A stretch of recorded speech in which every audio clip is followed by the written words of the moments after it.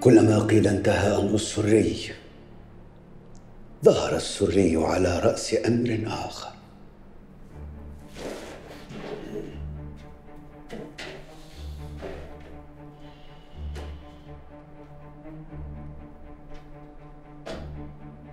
سأحكي لك حكاية يا جروي. في صغري كنت واقفا على سطح دار مع اثنين من رفاقي وتحدينا بعضنا البعض أن نقفز بالتوالي. قفز الأول فالتوى كحلو تألم. لكنه صرخ صرخة قوية. كي يدب في نفوسنا الفزع. أما الثاني فتردد قليلا ثم قفز بالفعل. وعند ارتطامه بالأرض وقف وهو يكابر. ولم يعترف بوجعه. وادعى أنها قفزة من الممكن أن يكررها مئة مرة. تملكني الخوف. وكدت أجبن لولا أن جملة قالتها لي أمي رحمها الله لم يعد في عقلي.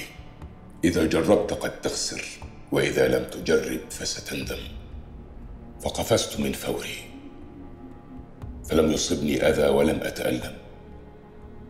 ومن يومها إلى الآن لم أشك في نفسي أبدا. ماذا كنت تريد يا جروي؟ أنا أيضا سأروي لك حكاية. اثنان من أبناء العمومة يقتتلان على قطعة أرض واحدة وكل منهما يصر على ملكيتها ويقتتلان بضراوة وكل يحاول أن يؤذي الآخر أذية غير مميتة. إلى أن التجأ إلى شيخ معتكف صالح أن يحكم بينهم. كان يتأمل الدنيا والناس. فسأل كل منهما أن يثبت ملكيته للأرض فأثبت كل ملكيته فعرض عليهما قسمتها بالعدل فرفض. كل متمسك بملكيتها. فعرض عليهما حلا بدا فيه جنون. حكم بأحقية الأرض لمن يريدها أكثر. من يتجرأ على قتل نفسه صاحب الأحقية في الأرض.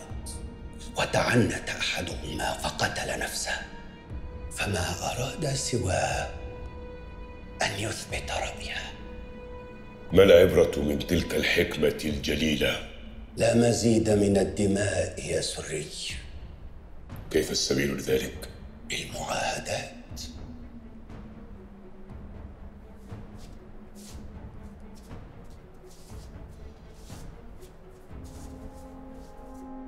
بسم الله الرحمن الرحيم. والحمد لله رب العالمين. صلى اللهم وسلم وبارك على سيدنا محمد وعلى آله وصحبه أجمعين. عرف خليفة المسلمين المأمون أبو العباس عبد الله ابن هارون الرشيد. بكتابكم الذي أرسلتموه عن الأوضاع في مصر. وقد أمر خليفة المسلمين بأن يولي السري بن الحكم مصر وصلاتها وخراجها على أن يعم الأمانة ويحق الحق وينصر المظلوم ويحكم بشرع الله وسنة نبيه محمد صلى الله عليه وسلم.